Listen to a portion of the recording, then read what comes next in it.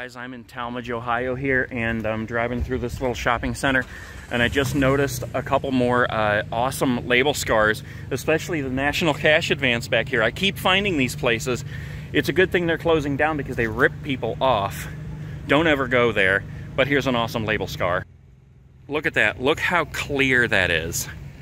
I love seeing clear label scars like that. Look at that. That is just, that's incredible. I always get people who watch these label scar videos and they just don't get it. but that just looks awesome to me. Let's go see if we can see anything in the window here. It looks like it's completely empty. Yep. Just empty.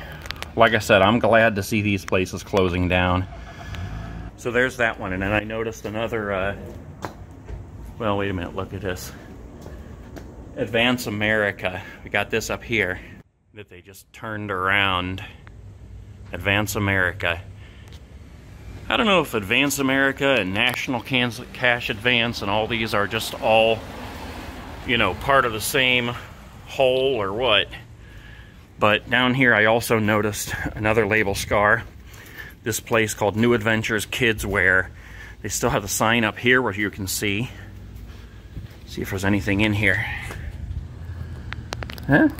Not very much. Colors around the edges for the kids. What used to be shelves. And there's that sign.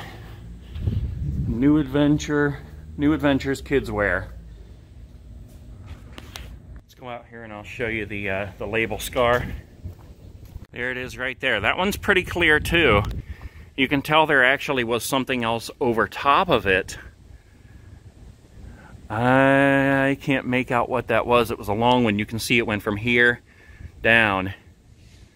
Kind of looks like, what the heck? It kind of looks like it was uh, kids wear first, and then that was put over it, and that preserved the upper part of the label scar, and then that one went out of business. But I don't know. I could be totally wrong about that. Huh. What the heck is that other one up there?